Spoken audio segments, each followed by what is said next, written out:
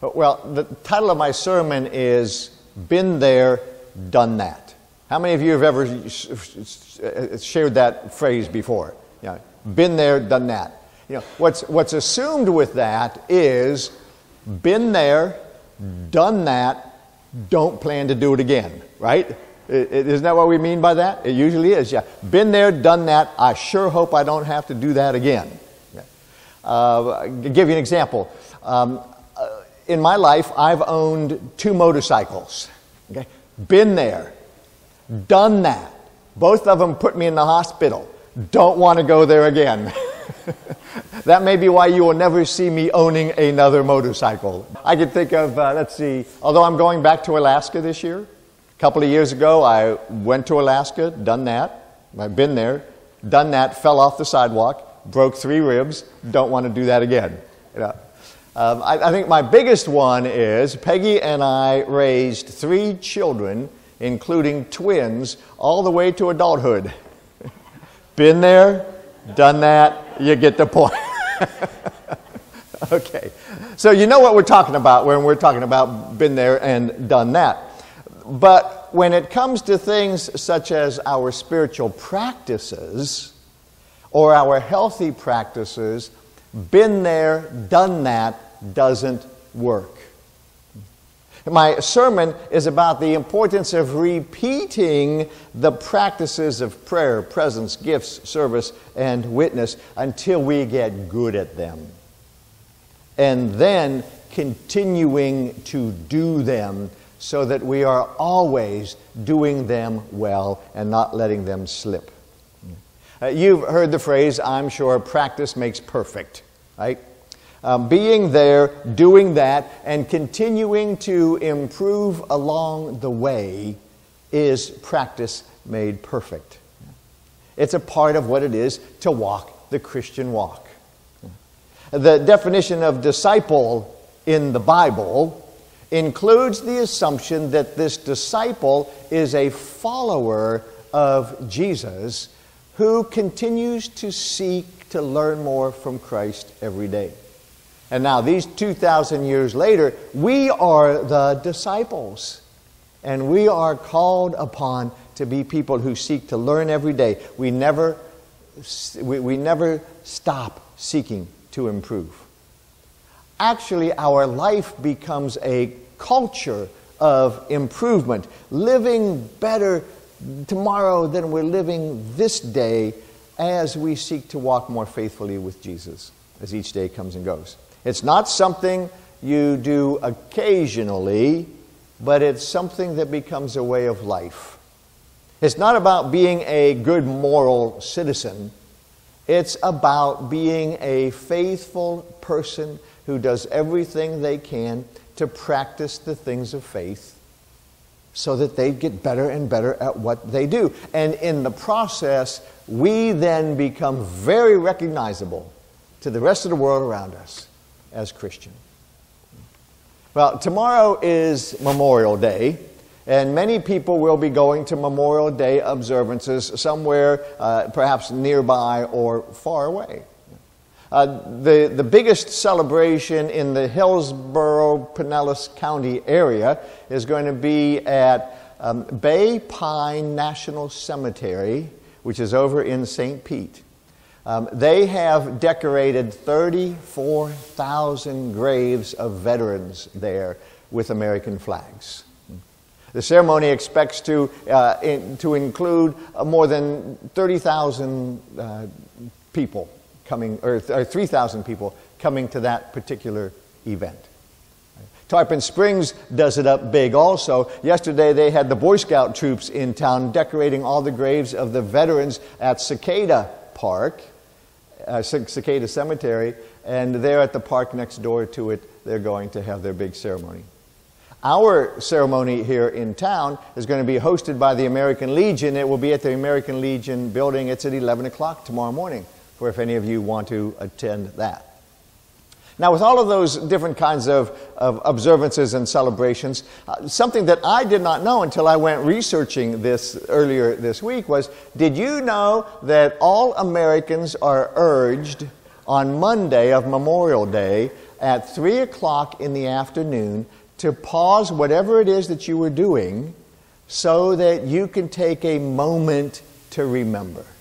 Did you know that that was a part of our, it's supposed to be part of our American tradition? It doesn't look like many of you knew that, huh? But back in 2000, former President Bill Clinton uh, signed into law a proclamation that said, let us do that because we tend to be forgetting what Memorial Day is all about. In his proclamation, he wrote this All Americans can come together to recognize how fortunate we are to live in freedom. The National Moment of Remembrance, that's what it's called, 3 o'clock tomorrow afternoon. The National Moment of Remembrance is a simple and unifying way to commemorate the sacrifices made by those who served and died. Why do we celebrate Memorial Day? For that matter, why do we celebrate the 4th of July and Veterans Day? Well, the reason we do it is to remember. We want to remember the value and the importance of freedom. We want to remember the cost of freedom. And we want to remember the valor of all of those who have served our country through the military through all of these years. Because if we don't observe those kinds of days, if we don't remember them and practice the holidays, we just might forget the cost of freedom. And we surely don't want to do that. Well, the same is true of our faith walk. That's why we as Christians celebrate Christmas. That's why we will never forget Easter. That's why uh, almost monthly, or, or at least monthly, we celebrate Holy Communion. And that's why every Sunday we show up here for worship. These are some of the practices of the faith and we do them lest we forget. We cannot forget the basics of our faith. And that also includes the things that I've been talking about since the 1st of January, these things called healthy practices and fruitful practices. We must continue to rehearse those or practice those if we plan to grow deeper in the things of Jesus. If you plan to live out what it means to be a person of faith, then you need to practice the things of our faith. The Great Commission of Jesus states, Go and make disciples. Marilyn read that earlier today. Go and make disciples. Now, we usually think about that as in uh, the making of believers. The reason we do is probably because we understand that the words immediately following, go and make disciples, is and baptize them in the name of the Father, the Son, and the Holy Spirit. That often recalls for us what it is to make believers. But I think Jesus was taking this scripture or, or this, this uh, great commission uh, to a deeper level. You know, there's a lot of believers out there, but not all of those believers follow Jesus Christ. They don't live their lives as if they are Christ followers. And so I think what Jesus was saying in Go and Make Disciples, he was saying, Go and make people who believe and follow. You know, those who emulate the life of Christ. Yeah. Go and, and help develop the children of God into the followers of the Jesus. Because when we are able to do that, or when we do that, we then walk as real witnesses in the faith. To do that well, we need to practice the lifestyle that Jesus led. I want to remind us that the Great Commission begins with the words, Go and make disciples, and it ends with these words, Go and teach them everything that I have commanded you. Become believers and then the, learn the way of Jesus. Well, it's time for me to introduce to you another book. It's called The Five Practices of Fruitful Living. It continues with the theme that we've been talking about all spring and now into the summer, ever since January. These five fruitful practices, notice they're fruitful practices, help strengthen and give backbone to our other five healthy practices the prayers, presence, gifts, service, and witness ones. Uh, this new book that was written about three or four years ago is becoming a call to transformation in the United Methodist Church. It was written by one of our bishops, Robert Schnase, and it is just packed full of some incredible wisdom on what it is to grow ourselves as Christians in the 21st century. For us here at this church, it's going to be a part of the foundation that we are building as we seek to become the church God needs us to become as we move forward into our future.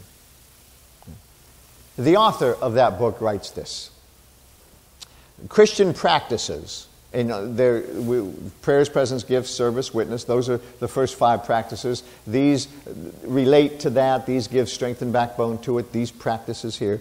He says this Christian practices are those essential activities we repeat and deepen over time. They create openings for God's Spirit to shape us. They are not steps we complete and put behind us, never to repeat again. Practices are not simply principles we talk about, practices are something we do. A few weeks ago, some of us were sitting around here at the church and talking about the study that many of us had just finished going through from that original book called A Disciple's Path. Um, that was a study in which we talked about how do we incorporate into our lives and our hearts prayers, presence, gifts, service, and witness.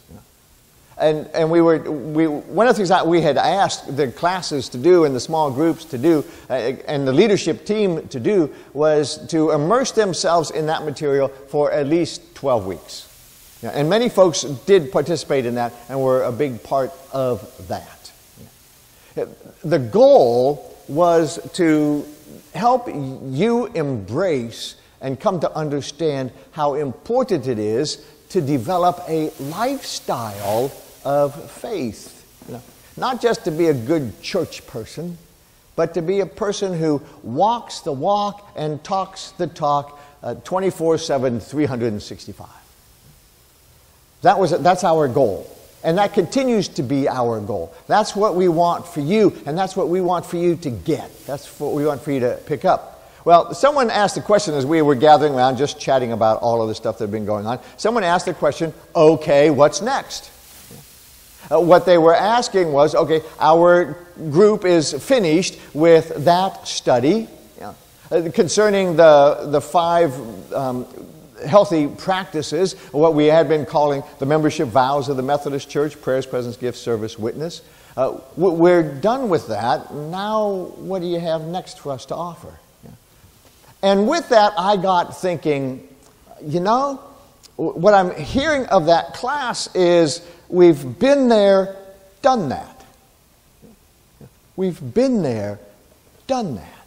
Let's shelve that and move on to something else. And I got thinking, you know, that's not what this is all about. It's not about finishing some kind of process or a step forward and then just ignoring it. Yeah. So, I, so I asked the question of those of us who are gathering around let me ask you this Has your small group, um, have you noticed that the lifestyle of members of your small group has changed significantly? What I mean by that is, uh, has their prayers not only transformed who they are as people, but revolutionized their lives? When they come for worship, do they come more deeply now expecting to experience God here? Or do they come just hoping to experience friendships with buddies? Uh, with, with gifts and service and witness? Are, are, they, are they living a lifestyle of faith more so now than they had been in the past? Are you living a lifestyle of faith now more than you had been living it in the past? And if not, then you really haven't been there and done that in the first place. Perhaps all that you've really done is you've just studied another biblical curriculum. And if that's all that you've done, then it's such an incredible waste of time. And that's really not what we are about. There is so much more to it than that. And so I hope that you become aware of that and embrace that as you move through the rest of this year. No, as you move through the rest of your life, because we're talking about lifestyle change. Our goal is not just to complete another church study of some kind. Our goal is to completely change our culture and what it means to be a Christian. Our goal is to embrace these fruitful practices and these healthy practices in passionate ways, in intentional ways, in ways that are risky and radical and extravagant. Why? Because we need to become a different church now than we were 50 years ago or 100 years ago. Why? Because the 21st century has become a period of unbelief for Americans. I can't speak for the rest of the world, but here in America, it has become an age of unbelief. And the church needs to take that back. And we need to be a part of the leadership to do that. Now, let me um, tweak a little bit the theme of this sermon. You know, been there, done that. All right. I want to add to it this time. I want to kind of do a little reversal here. And been that, or, or been there, done that, want to do it again. Okay? Not been there, done that, don't want to do it again. This time it's been there, done that, want to do it again. And I'm going to ask some, some of you to share, you know, if you want to share. Um, let, let me begin by sharing with you what I mean, okay? I have grandkids in Ohio and in Alaska. I have been there, Ohio and Alaska. I have done that, given them little guys a bunch of hugs. Yeah. I want to do it again. I want to do it so bad. We haven't seen some of these kids for six months. You know? And I got another one on the way. We got a fourth one on the way. Yeah. I want to be there, do that, and do it again. Th- think of the things in your life that you want to repeat. Those, what's that that you want to practice again and again and again? That's what I'm talking about here. Uh, Peggy's family, that's the, the Welch clan and the Buckaloo clan, they all get together for a week long family reunion.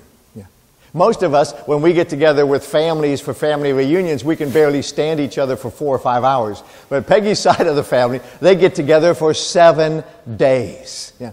We've been there, done that, and I so look forward to going to West Virginia this summer to do that again because it is such an important part of our, our identity of who we are.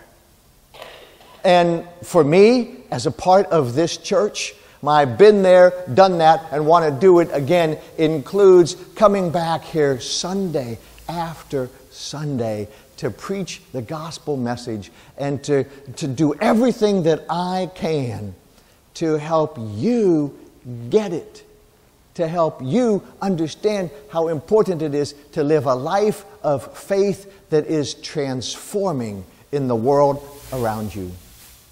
And that includes for all of us to decide that these healthy practices and these fruitful practices are worth committing to and doing again and again and forever as we seek to build a culture of transformation in the life of this church.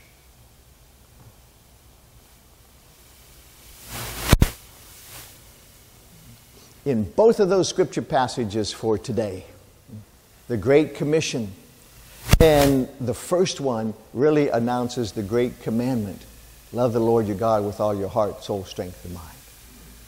Those are such powerful and important words for the church to hear anew. because the world beyond these doors have forgotten that.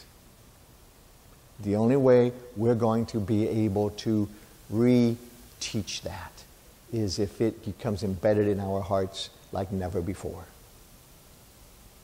So, are you with me in that? I hope you are. I hope so. Let's bow for prayer.